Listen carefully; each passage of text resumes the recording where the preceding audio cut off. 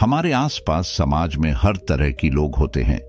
कुछ जो हमें प्यार करते हैं और सही सलाह देते हैं, जबकि कुछ लोग ऐसे भी होते हैं जिनका काम हर बात में नुस्ख निकलना और हमें नीचा दिखाना होता है। कई बार ऐसे व्यक्तियों का सामना करना काफ़ी मुश्किल हो जाता है, क्योंकि हमें वह तरीका ही नहीं पता कि किस प्रकार से ऐसे व्यक्तियों का सामना किया जाए ताकि उनसे हमारे रिश्ते भी खराब ना हो। और उन्हें उनकी इस आदत का अच्छा जवाब भी मिल जाए। जो भी दुष्ट प्रकार के व्यक्ति होते हैं, वह कमियों को देखने और सुधारने के स्थान पर केवल और केवल दूसरे के आत्मविश्वास पर वार करते हैं, ताकि सामने वाला व्यक्ति प्रभावित हो जाए और जीवन में सफलता हासिल न कर पाए। इस प्रकार के व्यक्तियों से हमेशा सावधान रहने की आवश्यकता होती है, क्योंकि वे केवल अपनी इच्छा पूर्ति के लिए इस प्रकार का व्यवहार कर देते हैं।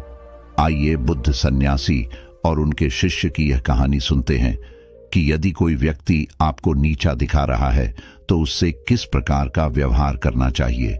कहानी शुरू करने से पहले चैनल को सब्सक्राइब ज़रूर कर ले और बेल आइकन दबा दे। दोस्तों, गौतम बुद्ध की शिक्षा हर किसी के जीवन को नई दिशा दे सकती है। अगर आप भी इसे मानते हैं तो कमेंट्स में नमो बुद्धाय लिखना मत भूलिए। एक समय की बात है। बुद्ध सन्यासी के आश्रम में उनके दो बड़े ही विचित्र शिष्य रहा करते थे। दरअसल वे दोनों विचित्र इसलिए थे कि दोनों का स्वभाव बिल्कुल ही अलग था। जहाँ एक शिष्य का काम सभी के कामों में गलतियाँ निकालना और सभी को बिना मांगे भी सलाह देना था तो वहीं दूसरे शिष्य का स्वभाव कुछ ऐसा था कि यदि उसे कोई कुछ कह देता था तो वह जवाब नहीं दे पाता था और घंटों इस बात पर विचार करता रहता था। दोनों आपस में अच्छे मित्र थे। बुद्ध सन्यासी अपने इन दोनों शिष्यों के स्वभाव से अच्छी तरह परिचित थे। एक बार की बात है, दोनों में से वह शिष्य जो जवाब नहीं दे पाता था, वह बुद्ध सन्यासी के पास पहुँचा। दरअसल वह बेहद दुखी था। बुद्ध सन्यासी ने जब उससे उसकी परेशानी का कारण पूछा, तब उसने बताया कि उसका अपना मित्र ही उसे हर समय नीचा दिखाने का काम करता है। उसके मित्र की इस आदत को देखकर आश्रम के अन्य सभी बड़े छोटे लोग भी उसे चिढ़ाते रहते हैं और कुछ ना कुछ कहते ही रहते हैं। लेकिन दुख की बात यह है कि वह कभी उन सबको उत्तर नहीं दे पता है, न ही उसे वह तरीका पता है, जिससे ऐसे लोगों का सामना किया जा सके। अपने शिष्य की यह बात सुनकर बुद्ध सन्यासी मुस्कुराए और बोले, यह समस्या तो बड़ी ही सरल है। तुम स्वयं इन समस्याओं का सामना कर सकते हो, लेकिन इसके लिए तुम्हें स्वयं की बुद्धि का प्रयोग करना होगा। शिष्य ने कहा कि, अब आप ही मुझे बताइए, मैं ऐसे लोगों का सामना किस प्रकार कर सकता हूँ? बुद्ध सन्यासी ने कहा, ठीक है, मैं तुम्हें उपाय बताता हूँ। सबसे पहले और मुख्य उपाय है, यदि कोई तुम्हारा अपमान करे या तुम्हारे विषय में कुछ ऐसी बात करे जो तुम पसंद नहीं करते तो तुम अपना बचाव कभी मत करो। उन्हें जो भी बात करनी है, बात करने दो। तुम्हें कोई आवश्यकता नहीं है उन्हें यह समझने की कि आखिर तुम्हारे साथ यह समस्या क्यों है। ऐसा करने से तुम स्वयं उनके द्वारा बताई गई बातों को अपने ऊपर लेकर उन्हें सही सिद्ध कर रहे हो। ऐसी स्थिति में अपना बचाव कभी नहीं करना चाहिए। दूसरा उपाय, यदि आपके बारे में कोई कुछ बुरा कह रहा है या आपको नीचा दिखाने की कोशिश कर रहा है तो तुरंत ही उस पर हमला करने मत लग जाओ। ऐसा करने से आप उन्हें एक और मौका दे रहे हैं कि वह आपके ऊपर प्रश्न चिन्ह लगाए। अचानक उनकी बातों का जवाब दे देने से आप स्वयं को ही उनकी नज़रों में कमज़ोर सिद्ध कर रहे हैं। ऐसा कभी नहीं करना चाहिए। तीसरा उपाय, यदि कोई आपको चुभने वाली बात कह रहा है या आपको नीचा दिखाने का प्रयास कर रहा है तो आपको उस प्रश्न पूछना चाहिए और कारण पूछना चाहिए कि आखिर वह आपके बारे में इस प्रकार से क्यों बात कर रहे हैं। ऐसा करने से अगर उनकी मंशा गलत होगी तो वह अपने आप ही शांत हो जाएँगे, क्योंकि उनके पास आपके द्वारा पूछे गए प्रश्नों का कोई उत्तर होगा ही नहीं।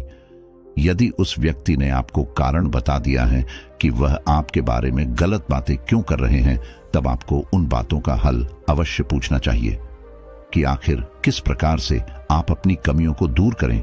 यदि वह सही मंशा से आपको आपकी कमी बता रहे हैं तो निश्चित ही इसका निवारण उनके पास होगा। उदाहरण के लिए, अगर किसी ने आपको आपके काले रंग के लिए टोक दिया है तो सबसे पहले आप अपना बचाव ना करते हुए उनकी पूरी बात को सुनिए और यह जानिए कि काला रंग होने से आपके क्या क्या नुकसान है। अचानक उनके ऊपर हमला मत करिए, गलत बातें बिल्कुल मत करिए कि पलटकर उन्हें काला कहने मत लग जाइए, बल्कि उनसे कारण पूछिए, उनसे यह कहिए कि आपको अच्छी तरह से पता है कि आपका रंग काला है। उन्हें यह बताने की आवश्यकता बिल्कुल नहीं है। आप उनसे पूछे कि क्या सचमुच मेरा रंग बदला जा सकता है। यदि हाँ तो कैसे? साथ ही उन्हें यह भी बताइए कि जीवन में सफलता प्राप्त करने के लिए आपका रंग महत्व नहीं रखता है। यदि महत्व रखता है तो केवल और केवल आपकी मेहनत। इस प्रकार वह व्यक्ति अपने आप ही चुप हो जाएँगे। कई बार व्यक्ति बेकार में ही दूसरे व्यक्तियों को उनके शारीरिक बनावट या अन्य बातों के लिए ताने मारते रहते हैं। ये उनकी आदत में शामिल होता है। अपनी कमियों को न देखकर भी दूसरों को उनकी कमियाँ बताने लग जाते हैं। ऐसे लोग प्रतिदिन कई लोगों को अवसाद में भेज देते हैं। इसीलिए इनको शांत कराना भी ज़रूरी हो जाता है। हालाँकि, आपकी प्रतिक्रिया के लिए परिस्थितियाँ भी जिम्मेदार होती हैं। कई बार कुछ लोग आपको नीचा दिखाने के लिए नहीं, बल्कि आपकी भलाई के लिए आपको महत्वपूर्ण बातें बताते हैं। ऐसे में अगर आप उनको जवाब देते हैं या रोकते हैं तो आपका ही नुकसान है।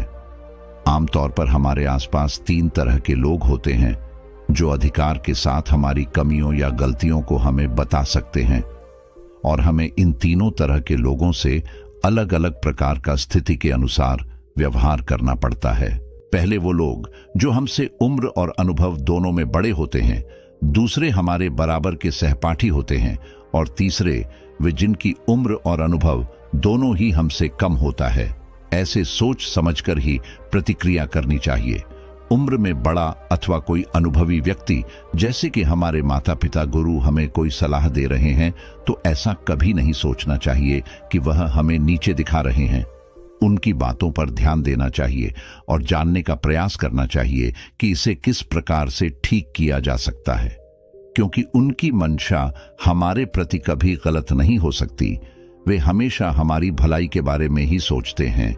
यदि हम उम्र या सहपाठी किसी बात को लेकर आपको नीचा दिखाने का प्रयास कर रहे हैं तो पहले उनकी बात को ध्यान से सुन लेना चाहिए और फिर इस पर विचार करना चाहिए। यदि आपको लगता है कि इस कमी में सुधार करके आपकी भलाई हो सकती है, तभी कोई प्रतिक्रिया करनी चाहिए। नहीं तो उनकी बातों को बेकार समझकर वहीं पर भूल जाना चाहिए। कई बार बड़े लोग अपने से छोटों को अनुभवहीन मानते हैं और उनकी बातों पर ध्यान नहीं देते हैं। ऐसा कभी नहीं सोचना चाहिए कि जो हमसे उम्र में छोटा है, वह हमेशा गलत बात करेगा। यदि आपका कोई छोटा आपसे सही बात कह रहा है तो उसकी बात को ध्यान से सुनना चाहिए और विचार करना चाहिए कि क्या इससे हमारी भलाई हो सकती है। यदि हाँ तो उसी अनुसार प्रतिक्रिया करनी चाहिए। यदि नहीं बल्कि वह नीचे दिखाने का प्रयास कर रहा है तो उसे जवाब देकर शांत कराना चाहिए। तब उस शिष्य ने पूछा कि, यदि कोई गलत मंशा से हमें नीचे दिखाने का प्रयास करे, तब हमारी क्या प्रतिक्रिया होनी चाहिए? तब बुद्ध सन्यासी ने बताया कि किसी भी गलत मंशा वाले व्यक्ति को नीचा दिखाने के लिए चार प्रकार से व्यवहार किया जाता है। मानसिक संतुलन सबसे पहले अपने मानसिक संतुलन को नियंत्रण में रखना चाहिए। अगर कोई आपके सामने उल्टी सीधी बात कर रहा है और आपने अपना मानसिक संतुलन खो दिया, धैर्य नहीं रखा, ऐसे में आप स्वयं को ही दोषी सिद्ध कर रहे हैं। इसलिए कभी भी दूसरे द्वारा कही गई बुरी बात तो पर अपना मानसिक संतुलन सबसे पहले नियंत्रण करना चाहिए। यदि उसे समय अपने धैर्य रख लिया तो निश्चय ही समय आने पर आप उसे व्यक्ति को बिल्कुल सही जवाब दे पाएँगे। ऐसा जवाब देंगे कि दोबारा वह व्यक्ति आपको कुछ नहीं कहेगा। वाणी पर संयम, कोई आपको नीचा दिखाने वाली बात कर रहा है तो उसके बात को धैर्यपूर्वक सुन लेना चाहिए और अपनी वाणी पर संयम रखना चाहिए। कई बार व्यक्ति दूसरे द्वारा कही गई बुरी बातों पर अपनी वाणी का संयम खो देते हैं और सामने वाले व्यक्ति को गाली अथवा बुरी बातें कहने लग जाते हैं। ऐसा कभी नहीं करना चाहिए, हमेशा अपनी वाणी पर संयम रखना चाहिए। क्योंकि ऐसा करने से आपके ऊपर कोई दोष नहीं लगेगा। कहीं ना कहीं सामने वाले व्यक्ति को अनुभव होगा कि यह तो मुझे कुछ नहीं कह रहा है। इसके आगे बोलना ठीक नहीं है। उसे बात का कोई फ़र्क ही नहीं पड़ता। इस प्रकार आप चुप रहकर भी सामने वाले व्यक्ति को नीचा दिखा सकते हैं। उपालंब। उपालंब एक ऐसा व्यवहार है जो कि बुद्धिमान व्यक्तियों द्वारा सबसे अधिक प्रयोग किया जाता है। यदि कोई व्यक्ति आपकी बेइज्जती कर रहा है और आपके बारे में बुरी बातें करके आपको नीचा दिखाने का प्रयास कर रहा है तो इसके लिए दो तरीके हैं। आप इन तरीकों का प्रयोग करके उन्हें अच्छा जवाब दे सकते हैं। पहला, उस व्यक्ति को ऊँचा दिखाकर नीचा दिखाना। किसी व्यक्ति को ऊँचा दिखाकर नीचा दिखाना बड़ा ही सरल होता है। यदि कोई आपकी बेइज्जती कर रहा है, आपकी शारीरिक बनावट के बारे में बुरा कह रहा है या ऐसा कह रहा है कि आपकी लंबाई बहुत कम है तो आपको इस बात का उत्तर कुछ ऐसे देना चाहिए कि आप और आपके परिवार की सभी लोग बहुत लंबे हैं।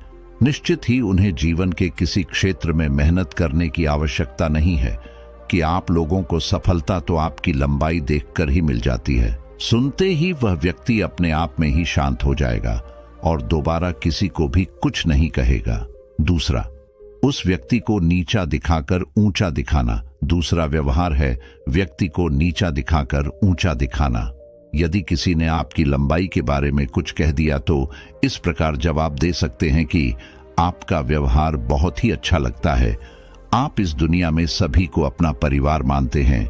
किसकी लंबाई कितनी है, किसका रंग कैसा है, इस बात का पूरा ध्यान रखते हैं। सचमुच आप बहुत ही पारखी नज़र वाले हैं। लेकिन दूसरों पर ध्यान देने के स्थान पर यदि आप स्वयं पर ध्यान देने लगते तो आप अवश्य ही विश्व के सबसे ज्ञानी मनुष्य बन जाते। इतना सुनते ही निश्चित ही वह व्यक्ति झेप जाएगा और दोबारा आपको कुछ नहीं कहेगा। चौथे प्रकार के व्यवहार को हम प्रतिनिवारण के नाम से जानते हैं। इसका अर्थ यह हुआ कि सामने वाले व्यक्ति ने जो निवारण आपकी कमियों को ठीक करने के लिए बताया है, आप उसी बात को काटकर जवाब देते हैं। मान लीजिए, अगर आपको किसी ने लंबाई बढ़ाने के तरीके बताएँ, तरह की दवाइयाँ और लटकने इत्यादि जैसे तरीके बताएँ, तब आपको इसका जवाब कुछ इस तरह देना है कि यदि आपने थोड़ा और लटक लिया होता तो निश्चित ही आपकी हाइट और ज़्यादा हो जाती और आप विश्व के सबसे लंबे व्यक्ति बन जाते। इस प्रकार का जवाब सुनकर व्यक्ति को यह महसूस हो जाएगा कि यदि हमने इसे किसी बात को लेकर कुछ कहा तो यह बर्दाश्त नहीं करेगा और हमारी बेइज्जती कर देगा। इसलिए वह दोबारा कुछ कहने की हिम्मत नहीं करेगा। इस प्रकार बुद्ध सन्यासी ने अपने शिष्य को नीचा दिखाने वाले व्यक्तियों से सावधान रहने और उनके साथ व्यवहार करने के अच्छे तरीके बताएँ।